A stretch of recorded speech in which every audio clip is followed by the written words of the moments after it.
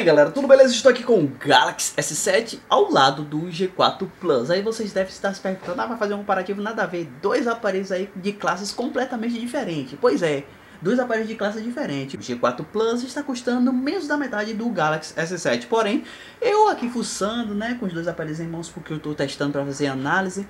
O G4 Plus porque eu vou fazer um comparativo com o Quantum Go, Quantum Fly, quer dizer. E tá aí eu fuçando e encontrei duas funcionalidades que o G4 Plus consegue superar o Galaxy S7, o topo de linha da Samsung. Pois é, acreditem, que é o sensor biométrico. Pois é, o sensor biométrico.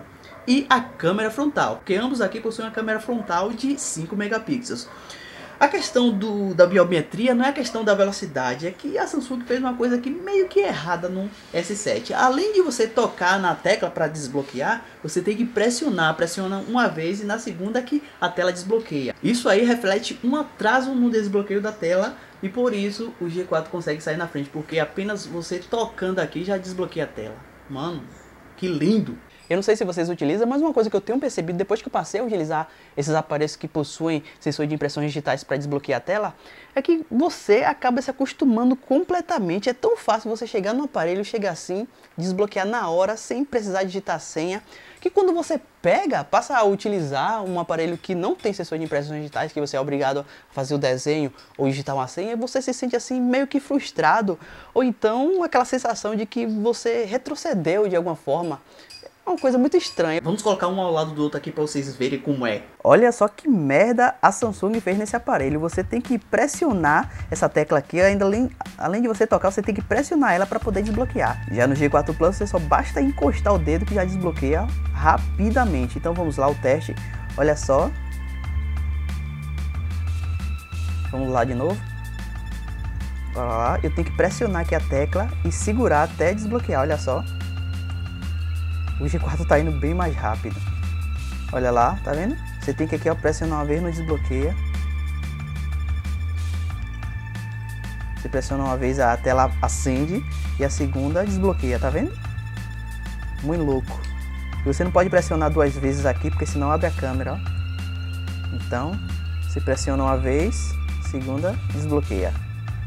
Muito louco. Isso aqui é um retrocesso. Poderia só encostar aqui como a maioria dos aparelhos, né? Mas não.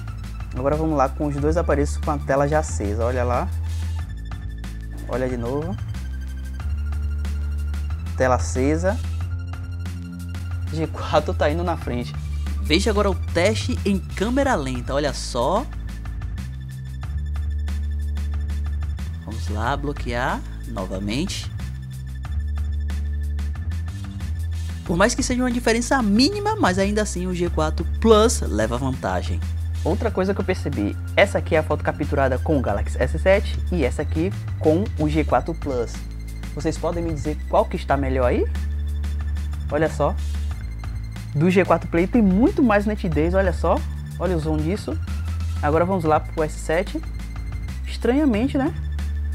Agora vamos ver em cada aparelho. Que também tem aqui, Tá vendo aí, pessoal? Olha só.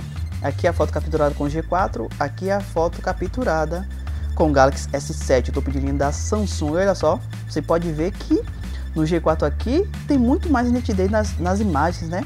Olha lá as cores vivas. Olha aquela planta lá, por exemplo, olha só. Olha para aqui.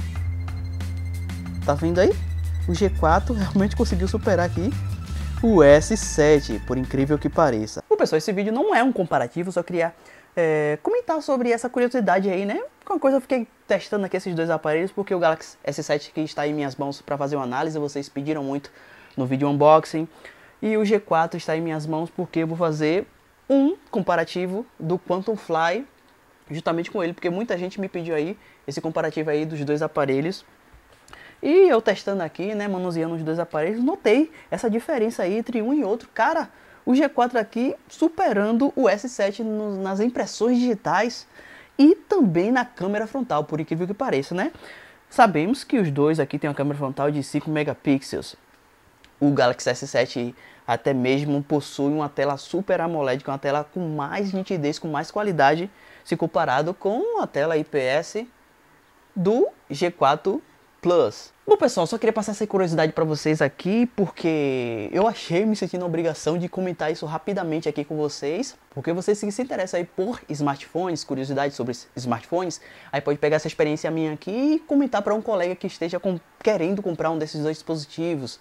E aí você já passa essa informação, porque é um, é um fato, né? Mostrei um caso aqui na cara de vocês e vocês viram que realmente funciona. O G4 Plus dando um pau no S7 aí, o topo de linha da Samsung. Pois é. Então é isso, pessoal. Quem gostou do vídeo, dá um like favorita. Até a próxima.